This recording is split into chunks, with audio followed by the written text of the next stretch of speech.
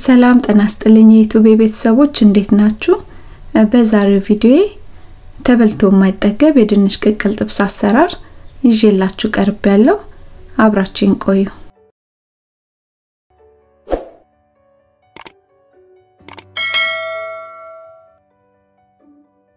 የድንች ቅቅል ጥብሱን ለመስራት የተጠቀምኩት ድንች፣ ዘይት፣ cayenne pepper በካያን ፔፐሩ ፋንታ በርበሬ ማስገባት እንችላለን። ደረቅ የተቀላቀለ ቅመም፣ ነጭ ሽንኩርት፣ ቁንዶ በርበሬና ጨው ናቸው። ድንቹን ከመቀቀሌ በፊት በደንብ አጥበዋለሁ። ከነ ልጣጩ ስለሆነ የምንቀቅለው በደንብ ማጠብ አለብን። ድንቹን በደንብ አጥቤዋለሁ። ጨው አደርግና ቀቅያ አበስለዋለሁ። ድንቹን ስናበስል በጣም ሙክክ እስኪል ድረስ ማብሰል አያስፈልገንም። oven አስገብተን ስለምንጠብሰው ብዙ ማብሰል አያስፈልገንም። ድንቹ እስኪበስልልኝ ድረስ የድንቹን ማጣፈጫ አዘጋጃለሁ። በጎድጓዳ ሳህን ውስጥ ነጭ ሽንኩርትና አንድ የሻይ ማንኪያ cayenne pepper አድርጌያለሁ። cayenne pepper ሁለት የሻይ ማንኪያ ነው የማደርገው። በ cayenne pepper ኡ ፋንታ በርበሬ ማስገባት እንችላለን። ቁንዶ በርበሬ፣ ጨው፣ ደረቅ የተቀላቀለ ቅመምና ዘይት አስገባና አዋህጄ አዘጋጀዋለሁ። የወይራ ዘይት ነው የተጠቀምኩት። ባላችሁ ዘይት መስራት ይቻላል።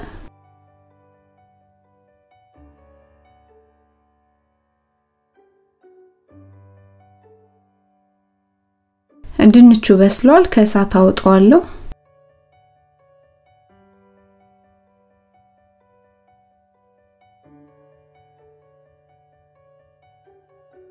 በማበስልበት ትሪ ላይ የማብሰያ ወረቀት አድርጌያለሁ። ድንቾቹን አደርግና በብርጭቆ ቂጥ ጫን ጫን እያደረግኩ ደፍጠጥ ደፍጠጥ አደርጋቸዋለሁ።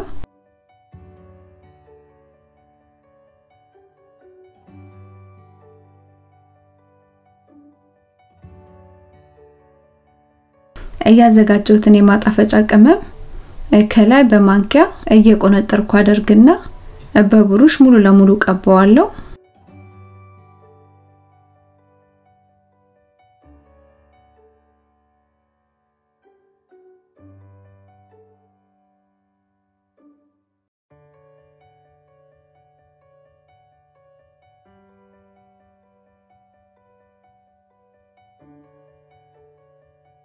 በሞቀ oven ላይ ድንቹን አስገባና oven ኤን 400 ፋራናይት አድርጌ ለ15 ደቂቃ ከላይ አበስለዋለሁ።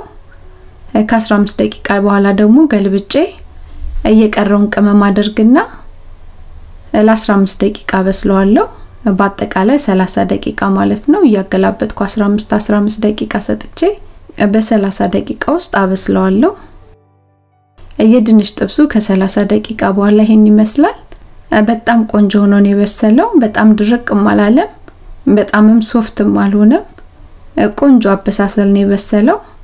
በጾም ሰዓት ለአማራጭ ወይም ለአይነት በጣም ቆንጆ አሰራር ነው። ሰርታችሁ ሞክሩት፣ በጣም ነው የምትወዱት። አሰራሬን ከወደዳችሁልኝ like፣ comment እና share አድርጉት።